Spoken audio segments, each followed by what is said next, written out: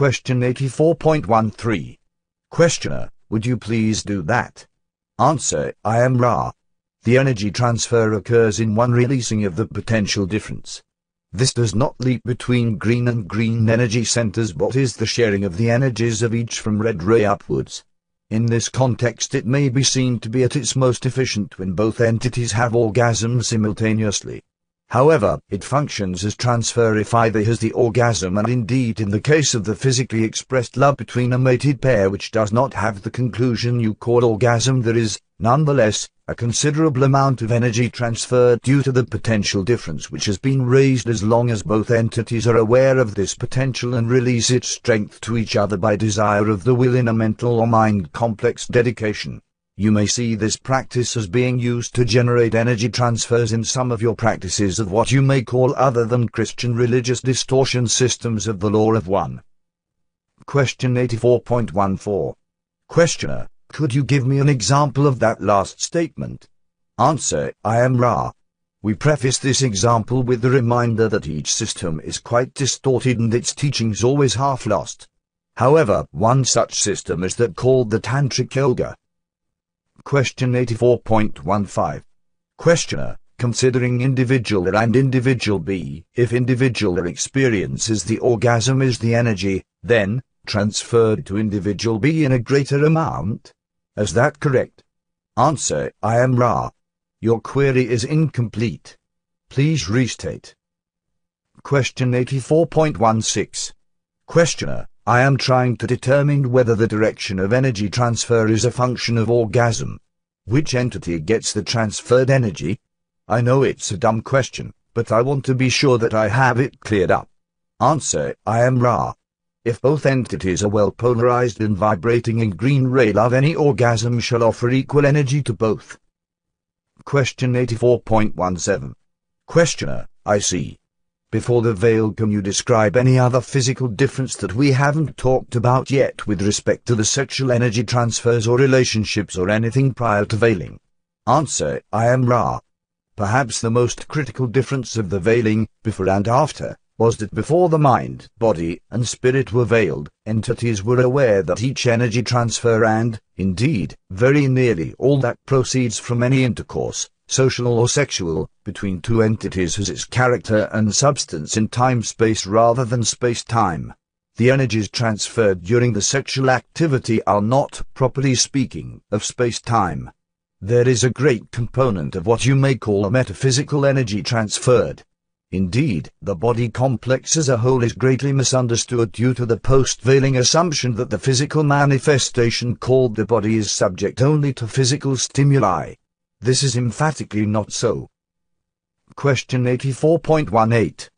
Questioner, after the veil, in our particular case now, we have, in the circuitry of which we were speaking, what you call blockages. Could you describe what occurs with the first blockage and what its effects are on each of the entities assuming that one blocks and the other does not or if both are blocked? Answer, I am Ra. This material has been covered previously. If both entities are blocked both will have an increased hunger for the same activity, seeking to unblock the baffled flow of energy. If one entity is blocked and the other vibrates in love, the entity baffled will hunger still but have a tendency to attempt to continue the procedure of satiating the increasing hunger with the one vibrating green ray due to an impression that this entity might prove helpful in this endeavor the green reactive individual shall polarize slightly in the direction of service to others but have only the energy with which it began. Question 84.19. Questioner, I didn't mean to cover previously covered material. What I was actually attempting to do was discover something new in asking the question, so please if I asked any questions in the future that have already been covered don't bother to repeat the material. I am just searching the same area for the possibility of greater enlightenment with respect to this particular area since it seems to be one of the major areas of experience in our present condition of veiling that produces a very large amount of catalyst and I am trying to understand, to use a poor term, how this veiling process created a greater experience and how this experience evolved. These questions are very difficult to ask. It occurs to me that many statues or drawings of the one known as Lucifer or the devil are shown with an erection. Is this a function of orange ray blockage, and was this known in a minimal way by those who devised these statues and drawings? Answer, I am Ra. There is, of course, much other distortion involved in a discussion of any mythic archetypical form. However, we may answer in the affirmative and note that you are perceptive. Question 84.20 Questioner, with respect to the green, blue, and indigo transfers of energy, how would the mechanism for these transfers differ from the orange ray mechanism in making them possible or setting the groundwork for them? I know this is very difficult to ask and I may not be making any sense but what I am trying to do is gain an understanding of the foundation for the transfers in each of the rays and the preparations for the transfers or the fundamental requirements or biases and potentials for these transfers. Could you expand on that for me please? I am sorry for the poor question. Answer, I am Ra. We would take a moment to state in reply to a previous comment that we shall answer each query whether or not it has been previously covered for not to do so would be to baffle the flow of quite another transfer of energy. To respond to your query we firstly wish to agree with your supposition that the subject you now query upon is a large one, for in it lies an entire system of opening the gateway to intelligent infinity you may see that some information is necessarily shrouded in mystery by our desire to preserve the free will of the adept. The great key to blue, indigo, and finally, the great capital of the column of sexual energy transfer, violet energy, transfers, is the metaphysical bond or distortion which is the name among your peoples of unconditional love. In the blue-ray energy transfer, the quality of this love is refined in the fire of honest communication and clarity. This, shall we say, normally speaking in general, takes a substantial portion of your space-time to accomplish although there are instances of matings so well refined in previous incarnations and so well remembered that the blue-ray may be penetrated at once. This energy transfer is of great benefit to the seeker in that all communication from this seeker is, thereby, refined and the eyes of honesty and clarity look upon a new world. Such is the nature of blue-ray energy and such is one mechanism of potentiating and crystallizing it.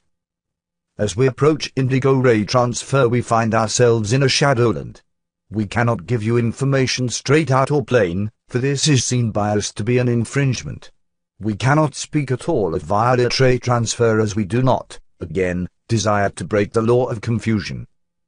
We may say that these jewels, though dearly bought, are beyond price for the seeker and might suggest that just as each awareness is arrived at through a process of analysis, synthesis, and inspiration, so should the seeker approach its mate and evaluate each experience, seeking the jewel. Question 84.21 Questioner, is there any way to tell which ray the transfer was for an individual after the experience? Answer, I am Ra. There is only a subjective yardstick or measure of such. If the energies have flowed so that love is made whole, green ray transfer has taken place. If, by the same entities exchange, greater ease in communication and greater sight has been experienced, the energy has been refined to the blue ray energy center. If the polarized entities, by the same energy transfer experience, find that the faculties of will and faith have been stimulated, not for a brief while but for a great duration of what you call time, you may perceive the indigo ray transfer. We may not speak of the violet ray transfer except to note that it is an opening to the gateway of intelligent infinity. Indeed, the indigo ray transfer is also this but, shall we say, the veil has not yet been lifted. Question 84.22 Questioner, did most Logoi plan, before the veil, to create a system of random sexual activity or the specific pairing of entities for specific periods of time, or did they have an objective in this respect? Answer, I am Ra. This shall be the last full query of this working. The harvest from the previous creation was that which included the male and female mind, body, spirit. It was the intention of the original Logoi that entities mate with one another in any fashion which caused a greater polarization. It was determined, after observation of the process of many logoi, that polarization increased manyfold if the mating were not indiscriminate. Consequent logoi thusly preserved a bias towards the mated relationship which is more characteristic of more disciplined personalities and of what you may call higher densities. The free will of each entity, however, was always paramount and a bias only could be offered. May we ask if there may be any brief queries before we leave this instrument? Question 84.23. Questioner, is there any way that we can make the instrument more comfortable or to improve the contact? Answer, I am Ra. We would ask that each of the support group be especially vigilant in the, what you would call, immediate future due to this instrument's unbidden but serious potential for increased distortion towards illness health. You are most conscientious. We thank you, my friends, and leave you in the glorious light and love of the one infinite Creator. Go forth, therefore, rejoicing in the power and in the peace of the one infinite Creator. Adonai.